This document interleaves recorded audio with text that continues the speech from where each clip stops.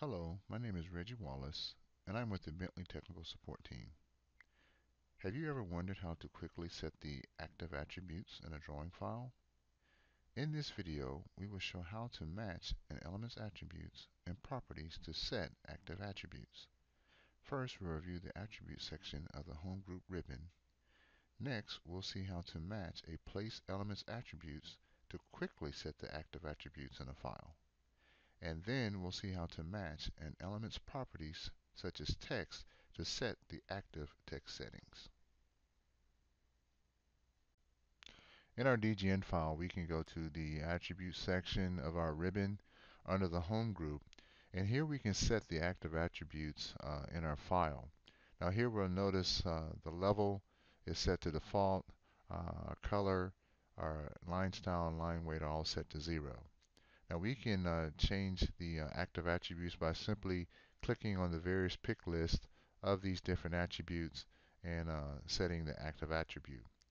But now, if we notice in our file, we have some shapes here that are uh, placed on different levels and uh, set to different color and line style values.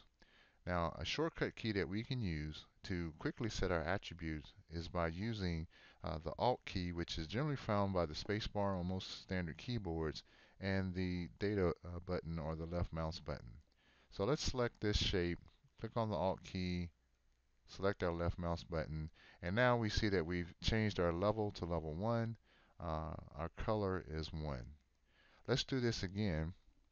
Uh, we'll select another shape uh, we'll simply click on the Alt key, we'll left mouse click our data button, and now we've changed our level to level 2, we've changed our color to 3, we've changed our line style to 4, and we have changed our line weight to 6. Let's now try the same shortcut keys on a text element.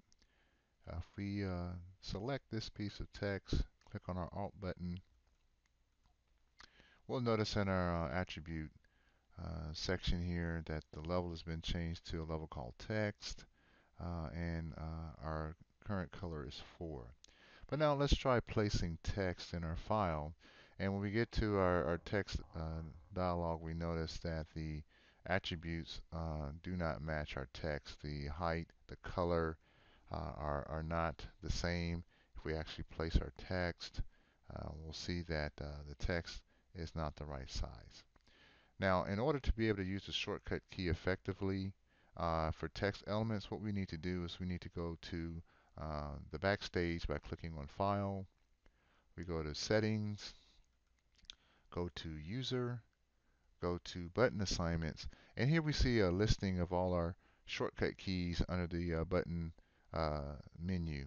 Uh, let's select the Alt plus the data button because uh, we're going to adjust that.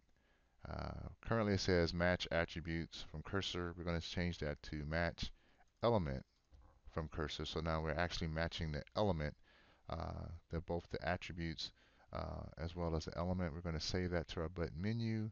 And now we're going to go back in our file. And now if we uh, do the same operation, select our text using our shortcut key. Now when we go place our text, we notice that uh, our text height and color are correct. And now if we place text, we see that it is also uh, the same size as uh, our text that we match, which is what we want.